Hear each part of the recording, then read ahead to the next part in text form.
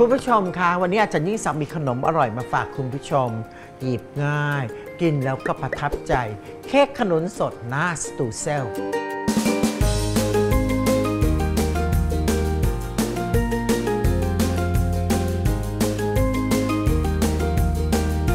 ่อนเราจะลงมือทำส่วนผสมของตัวเค้กเราเตรียมหน้าขนมก่อนนะครับ เราเรียกว่าหน้าสตูเซลสำหรับหน้าสตูเซล ลักษณะที่ได้จะต้องกรุบกรอบ มีกลิ่นหอม เนื้อล้วนสุยเหมือนคุกกี้คุณภาพเยี่ยม วันนี้เราใช้แป้งอเนกประสงค์ตรากรบนะครับใส่แป้งอเนกประสงค์ลงไปแล้วเราก็ตามด้วยน้ำตาลไอซิ่งเนยสดชนิดเค็ม และใช้อุปกรณ์ที่เรียกว่า pastry blender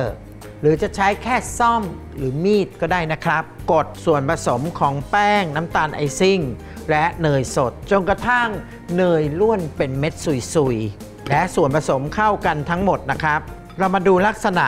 ของแป้งสตูเซลที่ได้ที่ จะเป็นลักษณะแบบนี้นะครับ เอาล่ะเราพักส่วนผสมนี้ไว้ เรามาตีส่วนผสมของเค้กกันเลยนะครับ สำหรับขั้นตอนในการทำเค้กคุณผู้ชมคงต้องเตรียมทุกอย่างให้พร้อม เริ่มต้นด้วยการใส่เนยสดลงไปในภาชนะ เดี๋ยวนี้ทำขนมเค้กอยากได้เค้กเนื้อนุ่มชุ่มฉ่ำแล้วก็มีความหวานแบบพอดีพอดีแล้วก็ใช้น้ำเชื่อมเข้มข้นสูตรดั้งเดิมตรามิตรผล อร่อยเป๊ะพร้อมปรุงนะครับ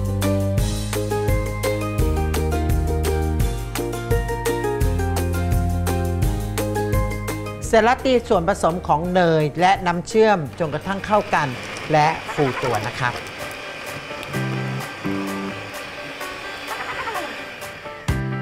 พอส่วนผสมของเนยและน้ำเชื่อมเข้ากันดี ใส่ไข่ไก่แช่เย็นลงไปเลยนะครับ ตีต่อจนกระทั่งกลับมาฟูอีกครั้งนะครับ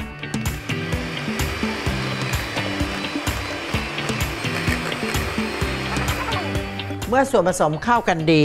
ใช้แป้งอเนกประสงค์ประกบครับ ใส่แป้งลงไปในชำอ่าง ผงฟู เกลือป่นเสริมไอโอดีน ตีผสมด้วยความเร็วต่ำสุดนะครับ พอส่วนผสมเริ่มจะเข้ากันใส่นมข้นจืด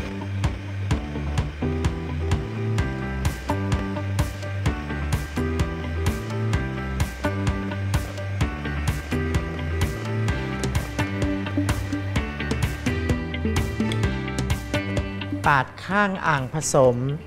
ให้ส่วนผสมเข้ากันให้หมด ตีผสมจนเข้ากันพอส่วนผสมของแป้งเข้ากันหยุดเลยนะครับ เพราะถ้าเราตีต่อขนมจะเนื้อแน่นแล้วหนัก และทำให้เค้กตกตะกอนแข็งๆที่ก้นพิมพ์ได้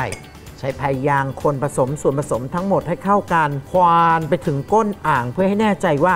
ส่วนผสมเข้ากันหมด เมื่อส่วนผสมเข้ากันดีสุดท้าย เนื้อขนุนสดหั่นเป็นชิ้นเล็กๆ ใส่ลงไป ถ้าคุณผู้ชมหาไม่ได้อาจจะเปลี่ยนเป็นขนุนกระป๋องก็ได้นะครับ แต่เอาน้ำเชื่อมออกให้หมด เอาละเสร็จเรียบร้อยครับ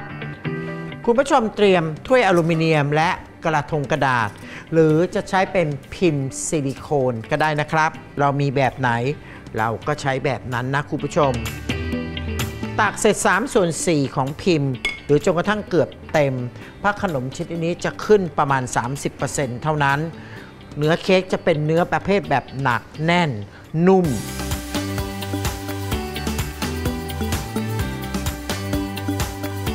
ก่อนนำขนมเข้าเตาอบอย่าลืมหน้าสตูเซลที่เราทำไว้นะครับ ตักหน้าสตูเซลใส่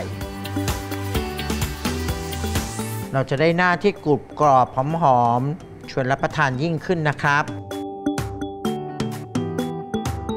พร้อมแล้วที่จะนำเข้าเตาอบ เดี๋ยวมาดูนะครับว่าสุกแล้วหน้าตาจะเป็นอย่างไรนะครับคุณผู้ชมจะเห็นว่าเมื่อขนมสุกจะขึ้นเต็มถ้วยพอดีพอดี แล้วก็มีหน้าสตูเซลกรุบกรอบเล็กๆ เวลาจะเสิร์ฟคุณผู้ชมครับ ตักน้ำตาลไอซิ่งใส่ลงไป แล้วก็ใส่โกโก้ผง คุณผู้ชมดูความน่ารับประทานเสร็จ น่ากินอะ อีกนิดเซ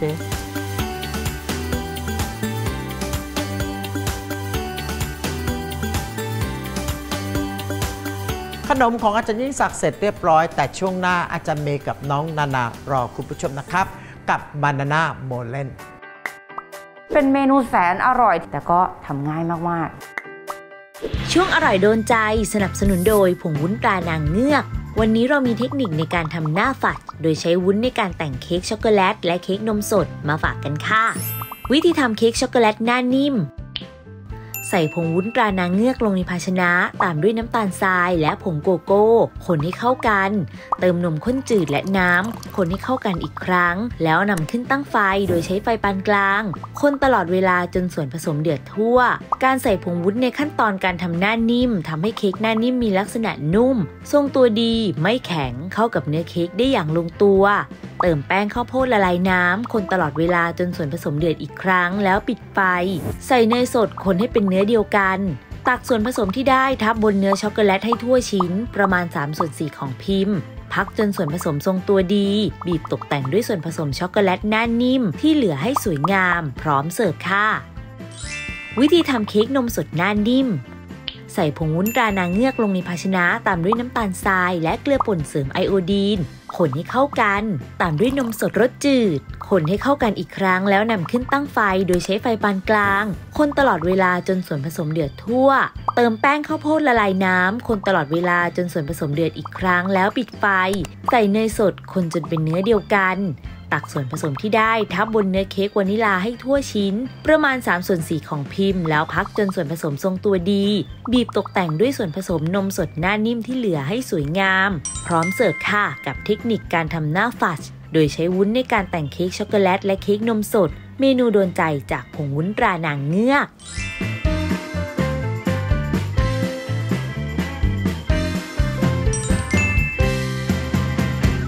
อร่อยทำง่ายได้คุณค่ากับน้ำมันพืชรามรกตวันนี้เรามีเมนูบีบิมบับมาฝากกันค่ะ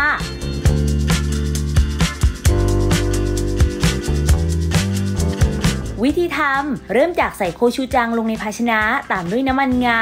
น้ำผึ้งกระเทียมสับคนผสมให้เข้ากัน เตรียมไว้เป็นซอสข้าวยำ วิธีผัดเนื้อสับใส่น้ำมันถั่วเหลืองรามรกตลงในภาชนะ ตั้งไฟพอร้อน ใส่กระเทียมสับผัดจนมีกลิ่นหอม ใส่เนื้อวัวติดมัน ผัดพอสุกปรุงรสด้วยโชยุพริกไทยป่น น้ำมันงา น้ำผึ้ง ผัดให้เข้ากันแล้วปิดไฟ วิธีทำเครื่องประกอบ ใส่น้ำลงในภาชนะตามด้วยน้ำมันถั่วเหลืองตรามรกต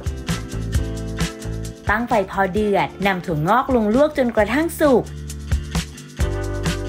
นำถั่วงอกที่ได้ใส่ลงในภาชนะตามด้วยงาขาว น้ำมันงา เกลือป่นเสริมไอโอดีนคลุกเคล้าให้เข้ากัน เตรียมไว้ ใส่น้ำลงในภาชนะตามด้วยน้ำมันถั่วเหลืองตรามรกตนำผักโขมลงลวกจนกระทั่งสุกนำผักโขมที่ได้ใส่ลงในภาชนะที่มีน้ำเย็น บีบน้ำออก ใส่ผักโขมลงในภาชนะ ตามด้วยงาขาว น้ำมันงา เกลือป่นเสริมไอโอดีน คลุกเคล้าให้เข้ากัน เตรียมไว้ ใส่น้ำมันถั่วเหลืองตรามรกตลงในภาชนะ ตั้งไฟพอร้อน ใส่แครอทผัดจนกระทั่งสุกแล้วปิดไฟนำแครอทที่ได้ใส่ลงในภาชนะ ตามด้วยงาขาว น้ำมันงา เกลือป่นเสริมไอโอดีน คลุกเคล้าให้เข้ากัน เตรียมไว้ ใส่น้ำมันถั่วเหลืองตรามรกตลงในภาชนะ ตั้งไฟพอร้อน ใส่เห็ดหอมผัดให้เข้ากันจนกระทั่งสุกแล้วปิดไฟนำเห็ดหอมที่ได้ใส่ลงในภาชนะตามด้วยงาขาว น้ำมันงา เกลือป่นเสริมไอโอดีน คลุกเคล้าให้เข้ากัน เตรียมไว้ค่ะ เรียงผักที่เตรียมไว้ลงในภาชนะที่มีข้าวหุงสุกตามด้วยเนื้อที่ผัดเตรียมไว้ ซอสข้าวยำ ไข่นกกระทา แค่นี้ก็พร้อมเสิร์ฟแล้วค่ะ กับเมนูบิบิมบับ